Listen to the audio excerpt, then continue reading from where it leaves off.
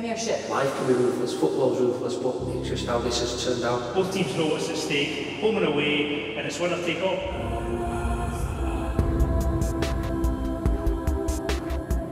And so it comes down to this 180 minutes of nerve shredding drama for a place in the top flight of Scottish football.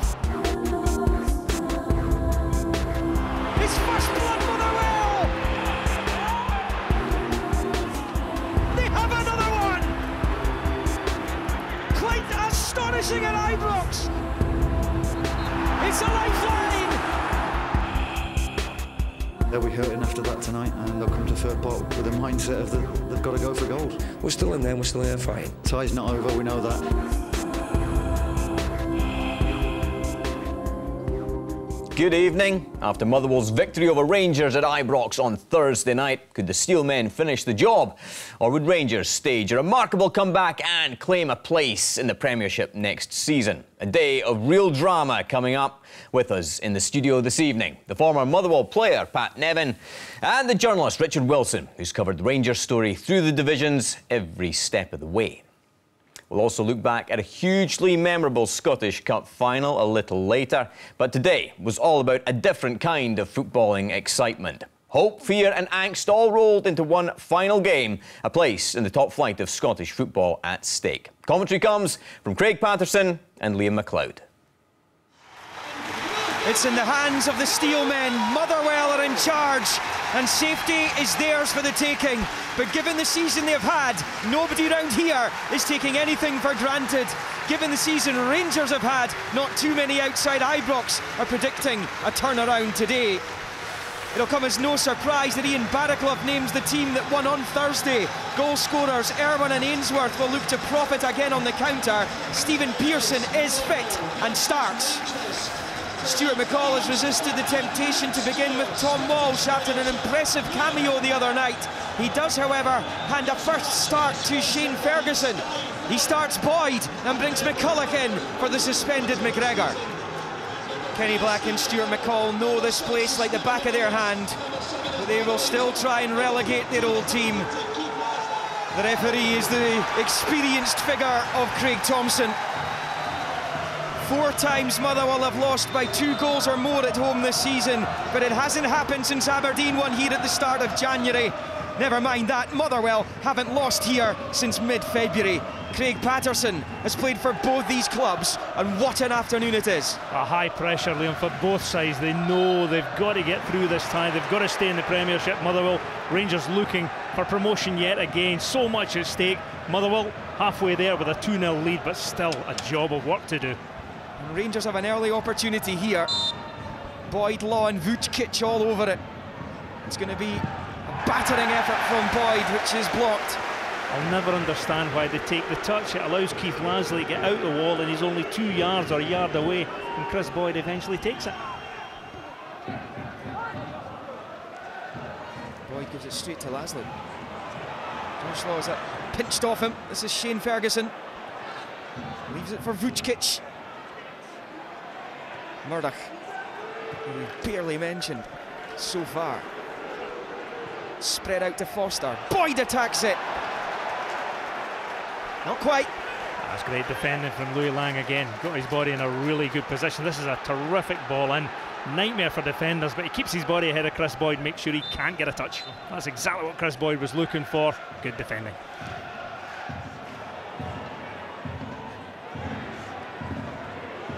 Erwin. Second half of the season, Lee Erwin. He's on a corner for this team too. Yeah, it's good play by Lee Erwin. The ball was just getting knocked back to front by both teams all of a sudden. Of the younger lads has the composure to take a touch, go to his opposite number, and he eventually earns himself against his team a corner. There goes by Zaliukas. Johnson picked off by Murdoch. Oh, that's dreadful. This could be a problem for Rangers here. There's a card coming out. It is yellow only.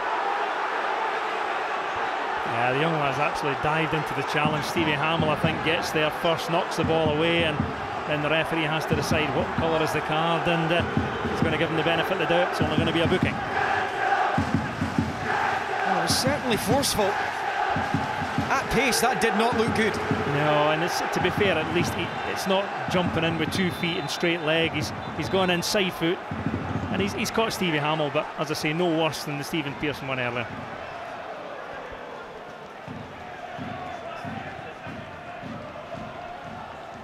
Goes long again.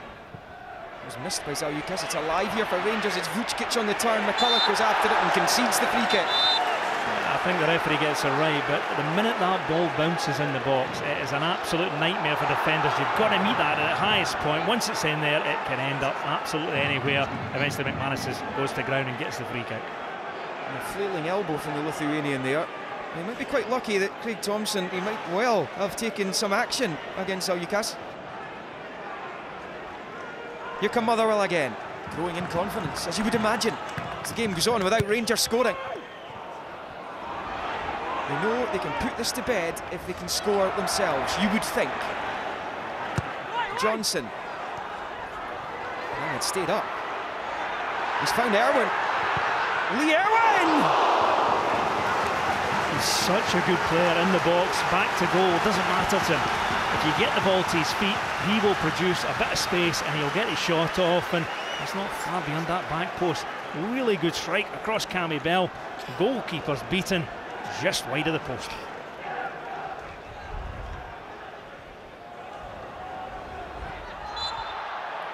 Yeah, Craig Thomson wasn't happy with the challenge on Lasley.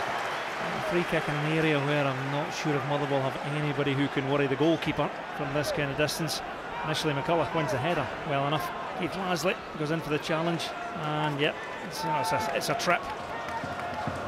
Motherwell beginning to look like the home team. First 10 minutes or so, Rangers had a go at them.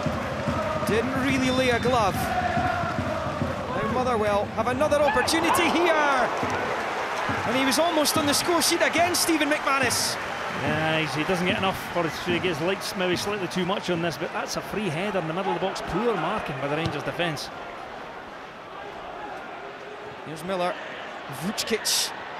Oh, that's a free kick, and that is in a very good area. Oh no, he's not giving the free kick for Rangers. It's a yellow card for diving by Haris Vucic. That's a big decision by the referee. Vucic, you know, he certainly goes by Steve McManus. Is there any contact? His first touch is good. Now he just nicks it past the Motherwell defender. Steve McManus picks up, and you know, does that trailing leg catch him? Hard to tell. And even if the referee doesn't see this as a free kick, I'm not 100% sure he can claim that. is definitely a dive. Certainly not a diving motion, if you like. But the decision has been made. Vucic booked. Manis goes long, so Ukas heads away. Momentarily though, Johnson did well. This is McDonald. And Johnson! It's a brilliant effort from Marvin Johnson. Goes for the far corner, doesn't miss by much, but once again, everything good down there. Scott McDonald's involved, takes the ball in, cuts back, leaves it to his teammate, he's only missed by inches. Good play, McDonald. You know, people don't dive in because they know he's got skill, and that is so close. Yet to score for Motherwell Marvin Johnson, but that was a fabulous effort. They've gone close twice now. Here comes Vucic.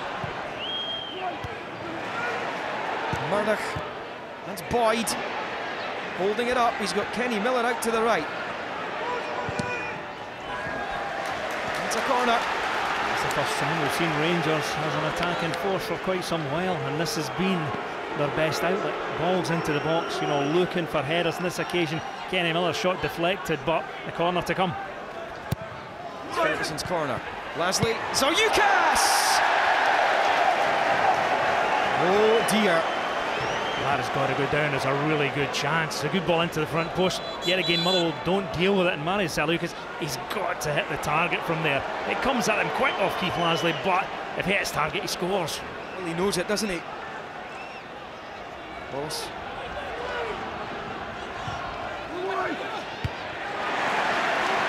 Another header. Wallace skips away from Ainsworth. Ferguson. Did that go out of play? No. Wallace in for Miller. Miller gets himself away from Laing. Oh, down he goes. Craig Thomson not interested. He had a brilliant view to the referee. Yeah, well, Scott McDonald, you know, when you any kind of challenge here, you've got to be very careful. It doesn't look like a penalty, you know, but as soon as a player goes down, he him the question.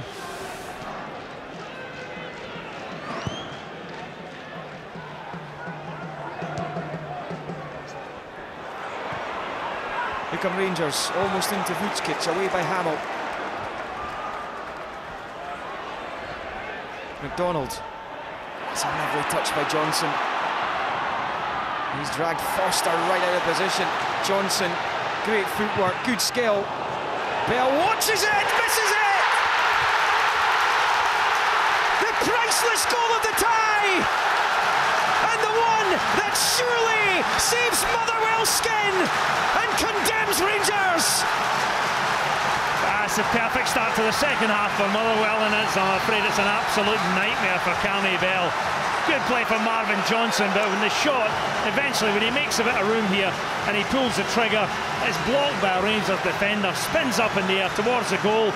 Goalkeeper looks like he's got it covered, and he completely misses his punch.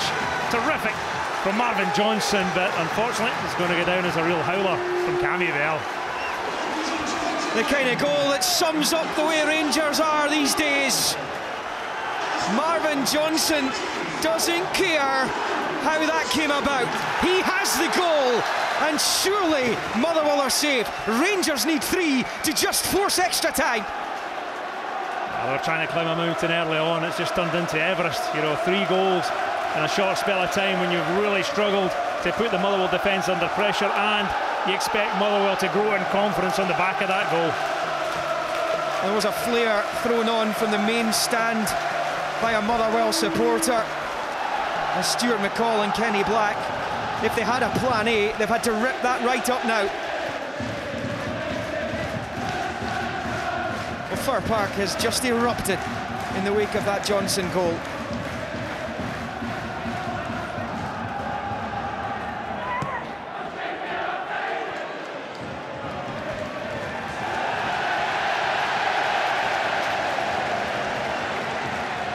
Your day, it's not your day. And it isn't for Lee McCulloch and his teammates right now.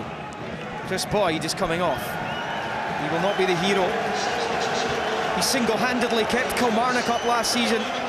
He has not had the same impact at Rangers second time around.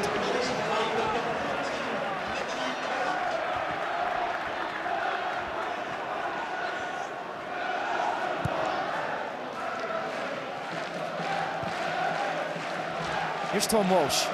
First real touch of the ball since coming on to the other sub Clark. Similarly.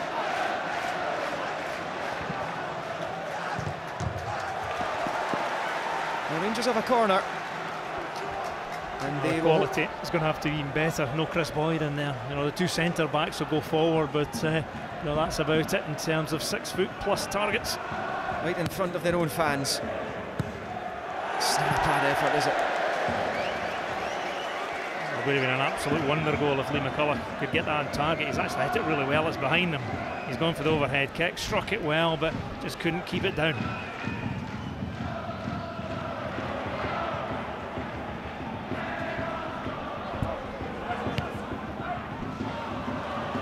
Here's Clark. Hammell all over him. Vucic. He's going to have a go here. That's the right idea, but just never got enough on it. Moves it onto his strong left foot, but doesn't catch it. Forward towards Nicky Clark. Lasley, it's a heavy touch from him. This is Murdoch. Vucic. But he's going to bring it back. He's taking it quickly.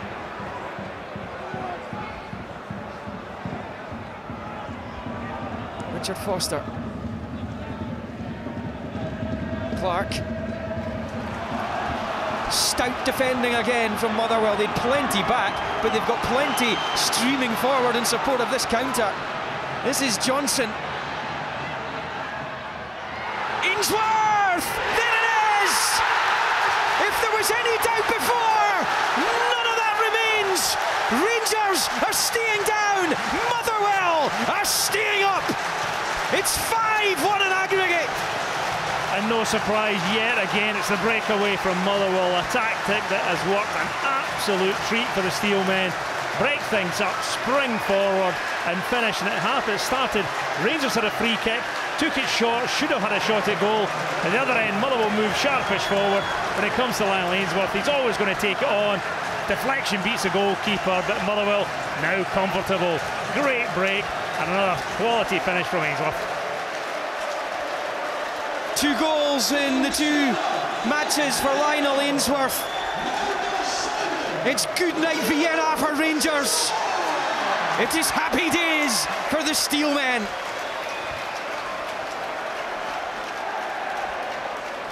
A glorious moment for Ainsworth and for those in claret and amber.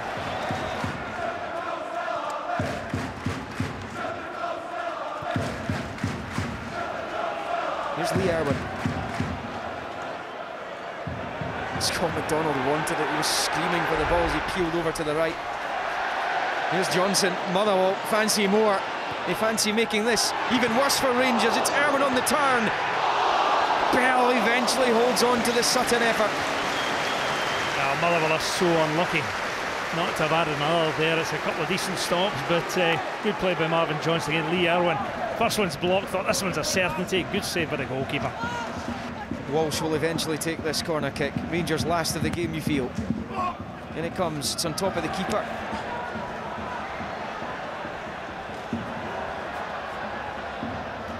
Will Mohsni eventually untangling himself. Motherwell looking for the cherry on the cake here. Here's Erwin. Can they go out in a blaze of glory? Lovely play by Erwin. Oh, it's a penalty.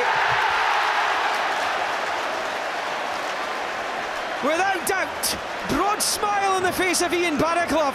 And what a way to end the season. He scored 12 goals this season, John Sutton. He has a chance to score Motherwell's last goal of the season. It's glory, glory, Motherwell! They have Rangers Football Club over two legs. It is 6-1 on aggregate. That's a perfect penalty kick from John Sutton. Just very calmly strolls up, waits to see where the goalie's going. Goalie goes right, ball goes to his left. It's in the back of the net and a perfect finish for Motherwell. It is a roasting that they have given Rangers. Although we knew a long time ago the Ibrox club would be remaining just where they are in the lower leagues. Safety signed, sealed, and delivered with plenty to spare. Motherwell have shown a steel that this part of the world is renowned for. They've shown a grit and determination that it has been lacking for a lot of this season. Now something has broken out on the park and it has involved Bilel Mohsni, who's a firecracker character. He has got hopelessly involved in this. Shameful from the Rangers defender. Absolutely shameful at the end. It is Motherwell's day though. The truth is, none of the rest of this season matters to them anymore. It is all about the future. They can write this off now. Rangers simply can't write this off now. They dubbed it the three year adventure. That will now be, at the least, a four year adventure. They have blown their big chance of the top flight and face another season in the Championship. Oh, this is what happened right at the end. Bilel Mohsni, that is disgraceful. He is kicked out utterly shameful. There are Motherwell fans who were told to stay in the stand celebrating now. Well, it's not what we wanted to see at the end of this one. A summer of turmoil will now begin for Rangers that continues to find new ways to disbelieve its support. But this is Motherwell's day. They are staying up. It finished Motherwell 3, Rangers nil, 6 1. Convincing on aggregate. So, drama right to the end. As for the result, no doubt about the side that deserved to win 6-1 to Motherwell on aggregate. Let's hear from a very relieved Motherwell manager, Ian Baraclough. He spoke to Chris McLaughlin. I think over the course of the two two legs, we've we've, we've proven that the uh, you know we I think we were the stronger team in, in, the end. You know, I think it some fantastic football play by both sides and um, some great goals. But uh, you know, we, we managed to take our chances at the right time and um, and and dealt with the situation.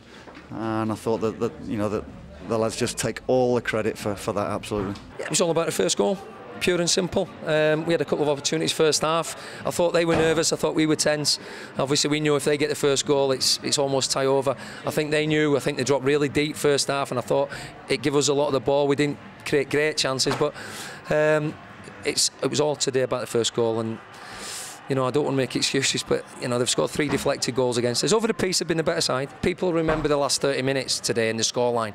If we'd have got the first goal, it would have been a complete different game. Relief, I think, is probably the first emotion. Uh, wasn't an entirely enjoyable experience today, to be honest. Um, you know, loved Thursday's game, but I think we knew on Thursday you always had another game to go if you like, and I think we knew today it was this, this was it. This was a, even although we obviously had a, a, good lead to protect, but you know we got the job done. I don't think we were at our best at all, to be honest today, but we, we found a way to do the job, and, and that's you know that's what matters at the end of the day. We witnessed some fairly disgraceful scenes at the end. Did you catch any of that? Do you understand what happened? And on my heart, I didn't catch any of it, and that's gospel truth. I, I was shaking hands with the opposition. Um, and all of a sudden people started rushing over. So I didn't, I didn't see it, and, and uh, football doesn't need that. Scottish football doesn't need that sort of uh, headline. It should have been all about the how well Motherwell Football Club played today uh, against tough opposition, uh, and over the two legs, it was a great, great spectacle for, for Scottish football, and it should be remembered for that, and not for any uh, any scenes that, that has got no place in the, in uh, in football whatsoever. Huge congratulations to Motherwell. Commiserations to Rangers. We'll discuss the ugly scenes at the end of that match shortly. Pat Nevin and Richard Wilson with me in the studio this evening. Richard, so much talk about the importance of getting the first goal this afternoon.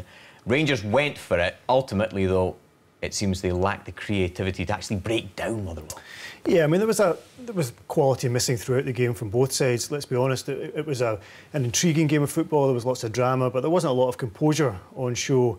The Rangers had to go for it. It was 90 minutes, their last 90 minutes of the season, last chance to go up. Uh, they tried to be on the front foot. They tried to be proactive. They played two up front, and they had untidy half chances in and around the, the penalty area. Um, they, they tried to get the ball into to, to wide areas and deliver it into the box for Kris Boyd, but too often they ended up going long. Um, and they just didn't build enough passages of play to, to get any control of the game. And their one kind of clear chance fell to Zaliukas, and he lacked the composure to, to, to get the shot on target at the end of the first half. They did what they could, but this was a Rangers team that I think just ran up eventually to the fact that they weren't good enough to go up.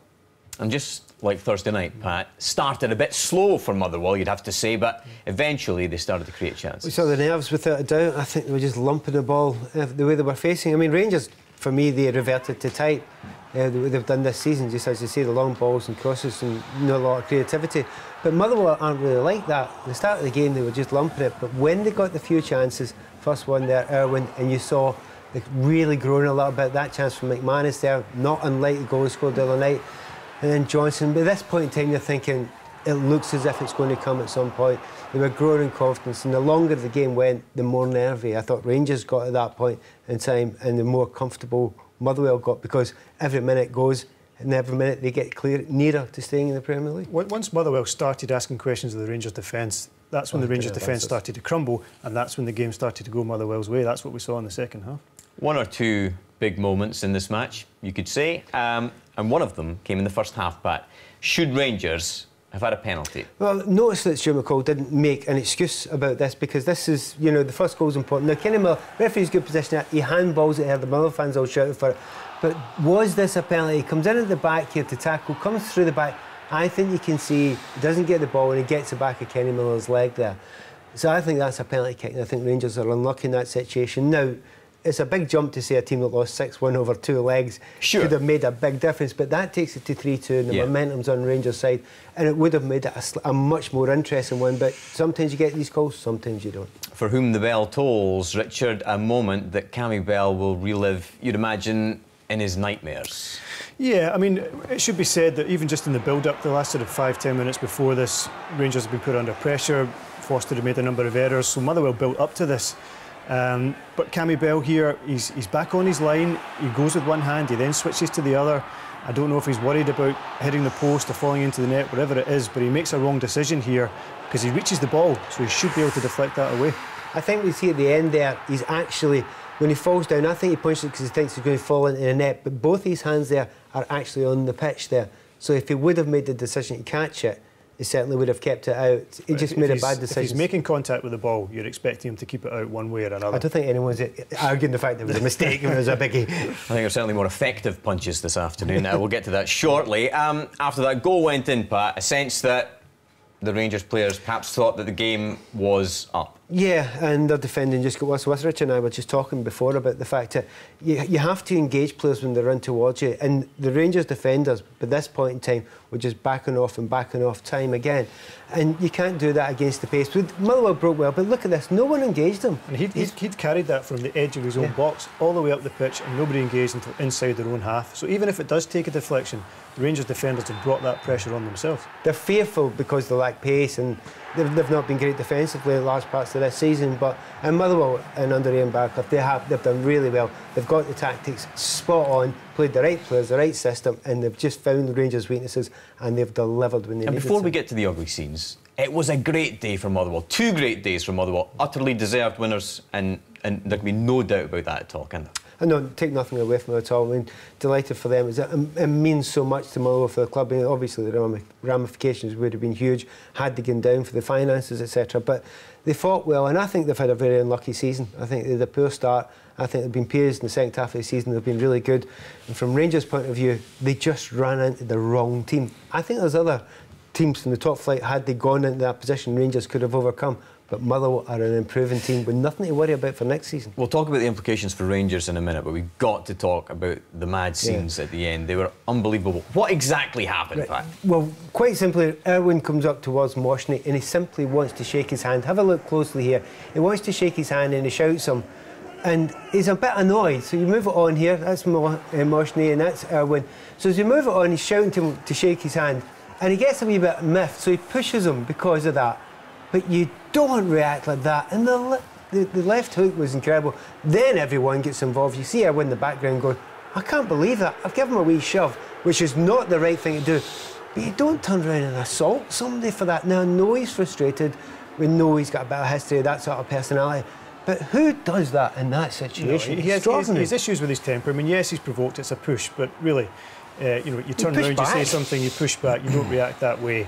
Um, and really, he's been a liability for a long time for Rangers. Rangers have never been able to rely on his behaviour on the pitch, and that, that's another example of that today. And Stuart McCall was very clear afterwards. He was a player who didn't have a future at the club anyway, and he almost, he absolutely certainly. It sparked ugly scenes towards the end as well, Richard, with Motherwell fans as well, on the pitch. yeah, I think Motherwell fans were coming on anyway. I think there will be an issue for the club. There'll be questions for them to address. A flare went on the pitch. Motherwell fans came on. Fine, fans come on at the end of the season. It happens. But they ran straight towards the Rangers fans. They were goading them. They were gathering there. The police had to intervene. Eventually, there was police horses on the pitch. Um, you know, it's difficult for clubs. I get that, but you have to ask questions about the level of stewarding to allow that to happen. This will be the picture of the day tomorrow in the newspapers. Uh, one lucky snapper's hit the jackpot, that's for sure. Um, what are the repercussions going to be from this, Richard? Well, there was three players sent off after the game: Mohsni, Erwin, and uh, Kerr of Motherwell. Um, so clearly, the football authorities will be issuing bans for that behaviour there today. Um, I dare say that the police have said that they will look and see if that's something they're going to investigate. They tend to be reluctant, and the game tends to be reluctant to want them to intervene because where do you stop? Well, the game, the game is very reluctant to do that. And we look back all the way to Duncan's Ferguson Sure, and things yeah. like that as well. There could be legal ramifications. I, I personally hope not. The game has to be able to police itself to some degree, but that's quite as close as to assault as you can possibly get. You touched on it earlier, Pat. This was such a massive result for Motherwell. In a weird way, I suppose they don't know whether to celebrate tonight or well, they are celebrating, you've even though it's it's it's maybe not the kind of uh, of result or No, situation they wanted to be in. Obviously, you've got to celebrate and sort of, it's relief as much as anything else. And dancing go- from Ian Baraclough. not, not the best, but you can let people away with anything. It means a huge amount to the club. And they, they've had a tough time this season. It looked absolutely awful for long periods of the season. It did. But in actual fact, there's a good team in there. There's so much pressure, I think, building up to that game. And beforehand, we were at the game for radio and we're watching the, the build up to the game.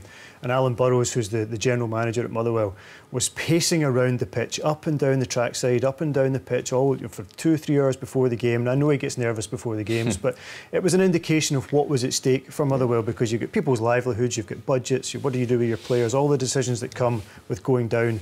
So that's why um, there's an element of celebration at the end of that. It's not finishing Sure. second bottom, it's safety. There- there- There's always, always tension when you get to the, the playoffs.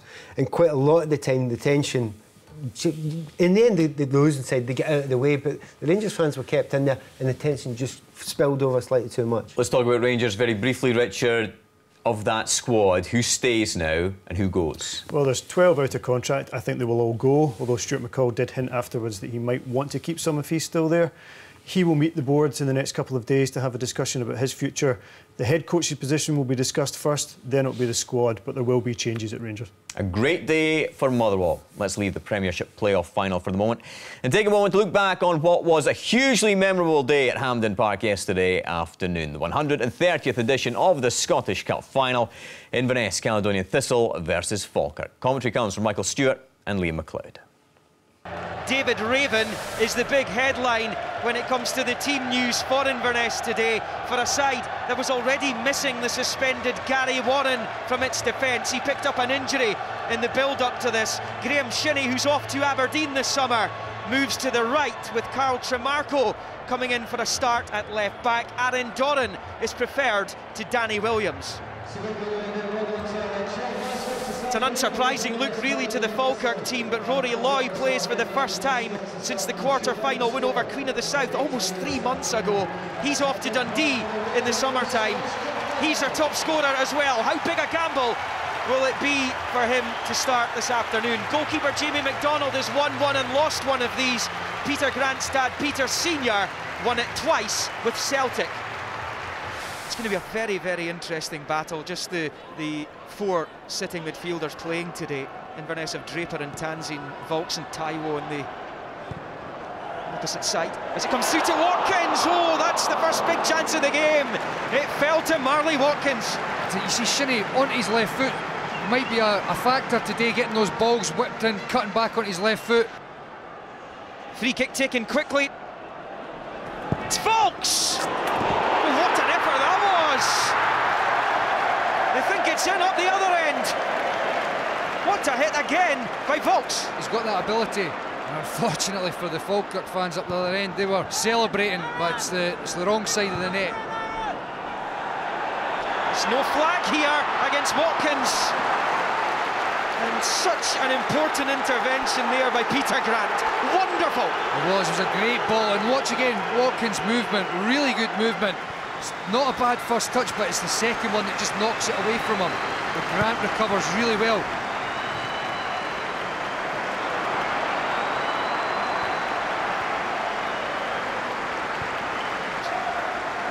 Here's Doran.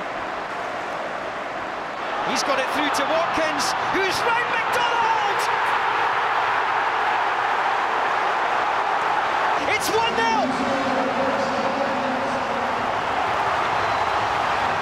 Great composure from Watkins.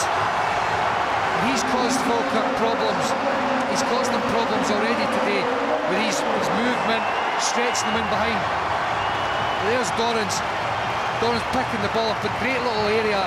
Nice ball in behind and he takes it round MacDonald.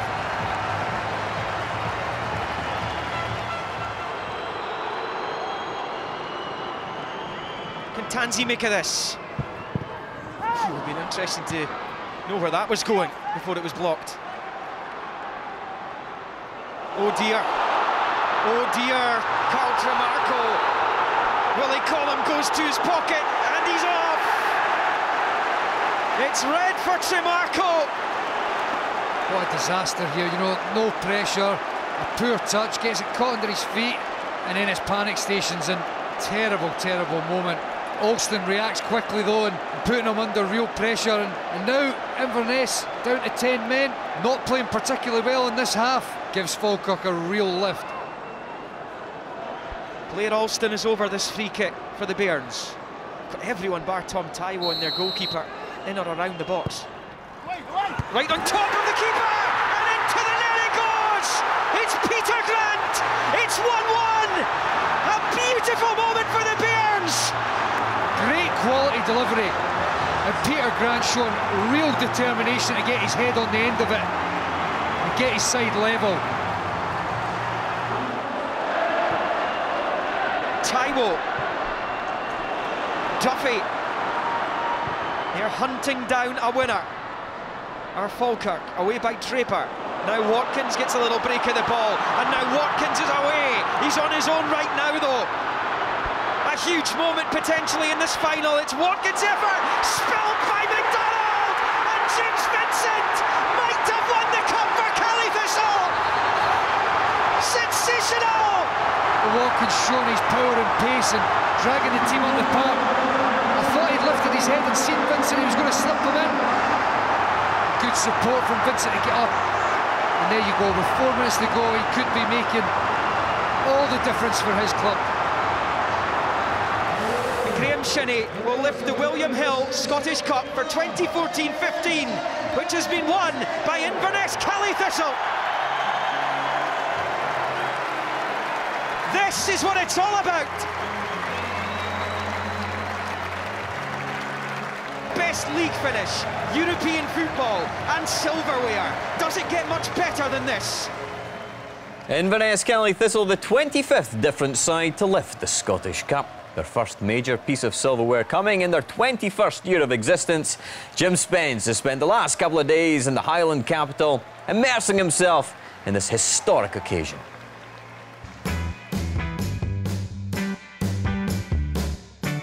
It was a terrific day at Hampden yesterday when Inverness Caley Thistle lifted the Scottish Cup for the first time in their short history. Now today it's all aboard the Inverness Caley Thistle Scottish Cup Express for the open top tour of the city.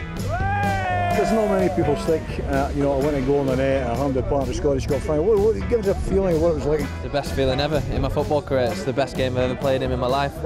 Potentially could be the biggest game I ever play in. So uh, to get a goal, it is literally, it's a cliche, but it's what dreams are made of. It's been a great occasion. Boys have been great.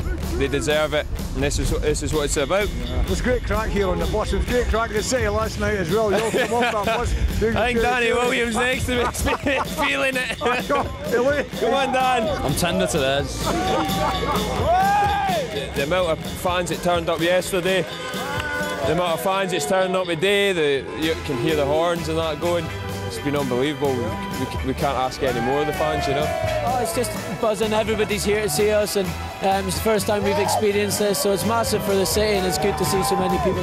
It's been a remarkable season, and to top it off, we're winning the Scottish Cup, uh, absolutely outstanding. And you see what it means to the people in the city and what it'll do for the city. And also, I see so many young kids with Inverness trips here, and if that inspires them to want to play football, and hopefully eventually for Inverness, then we're certainly playing our part.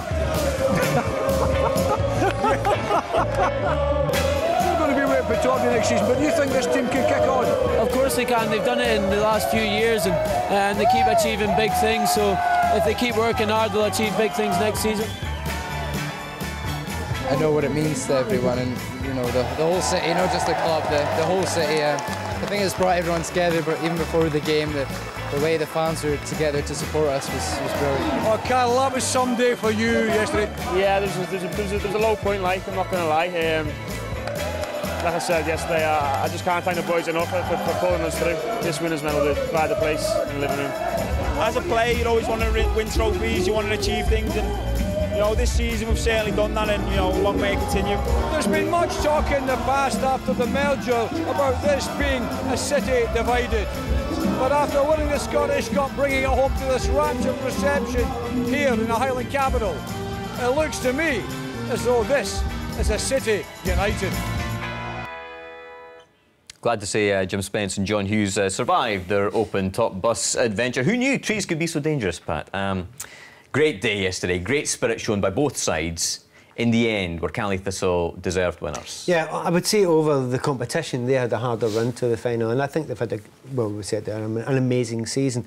And I think we all thought beforehand the accepted wisdom was if they scored first, then they would run out easy winners, and yeah. they did score first. And you know, at that point in time, I just couldn't. They were the better team by a, a, huge distance in that first half. Question whether it was offside or not, it wasn't offside. There was a player just there. Maybe his arm was off in an offside position, but that means you're not offside. Great ball through by Aaron Doran, but this was a big moment.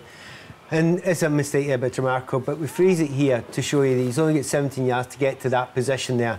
Devine, he's got 27 yards. He's 10 yards behind. He's not got, getting there. So Just the as well we had that camera stationed in space. Uh, the only question left there was it a foul? Uh, yes. I don't think there's any question mark about that. So well done, the officials. They've got it absolutely spot on.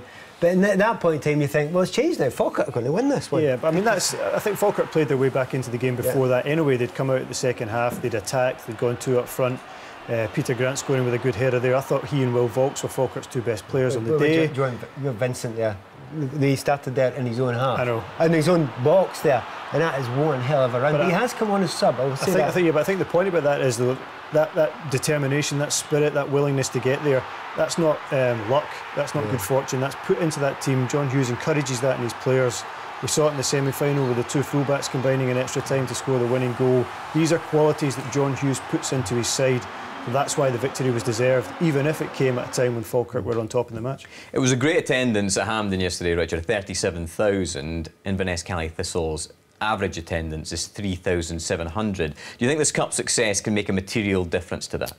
Well, history tells us it doesn't normally. Um, usually, uh, clubs that take a big support to a cup final find that their next home attendance is back down to normal. I think there is a slight difference with Inverness. Geographically, there is potential there. They don't suffer the same drain of, of supporters to the old firm as clubs in the, in the west of Scotland and the Central Belt do. And it's a young club, and it's come a long way in a short period of time. So I think that there is a chance for growth, but the club has got to work hard at that. It's got to reach out. It's got to be better at doing that. But yeah, they have the potential to make the difference from this cup final triumph. Pat, you can't help feeling so pleased for John Hughes. He's a great character for Scottish football. Everybody wrote him off at the start of the season. He wins two Manager of the Year awards. He finishes it with the Scottish Cup. It doesn't get any better than Yeah, that. and third in the league, and obviously European football as well. It's everything rolled in together. It's an, an, an unimaginably good uh, season that he's put there. And also, on top of all that, they played really good football. It was enjoyable to watch as well, which is hard to do. The easiest thing is to go and put a strong team together who just lump it forward. They're a team that deserve to get silverware. And I have to say, at the end of this, Motherwell are certainly a team that deserve to be in the SPFL as well. They're a good team, and they will not have problems next year. I'll tell you what, I think Inverness can get better.